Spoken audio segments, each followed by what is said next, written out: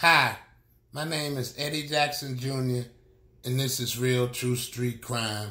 And this is another one from the files of Lisa Murphy, my aunt, who I really owe a lot of gratitude and thanks to. So here's another one from Lisa Murphy. All right, now I was telling y'all earlier about Wayne. Wayne was the guy who had the nub like that we used to play baseball, basketball. I mean, Wayne was competitive. You couldn't beat Wayne. Wayne would catch the ball, take the glove off, throw that up, put that glove back. Wayne was good. I'm gonna tell y'all with that nub now. That's for real, all jokes aside. And this is Eddie Jackson Jr., real true street crime. Now, Wayne lived on Marcus, right there at Marcus and Mount Elliott, okay? My brother Black and Joe and them lived, like I told y'all before, directly across the street from Wayne. Wayne's brother was Lil Randy. I'll think of the other one's name in a minute. I'm sorry. I forgot your name for the moment. But anyway, it was another girl who lived next door to Wayne, and her name was Rosemary. And Rosemary was a little older than Wayne. Say Wayne was like 16, Rosemary might have been 19, okay?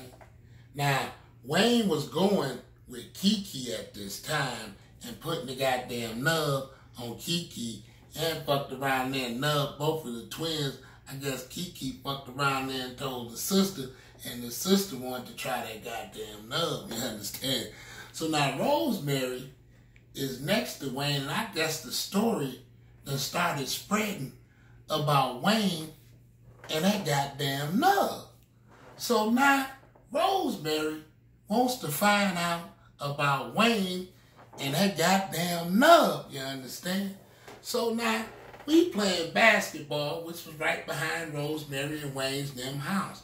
And Wayne was talking shit that last night Rosemary had called him over and they was kissing and making out. And Wayne said he put I swear, if it's a goddamn lying song, Wayne, I swear for God, this what this brother said. He said he put this goddamn much of that nub up in her goddamn thing, man. Now that's why I knew D didn't have enough goddamn dick possibly.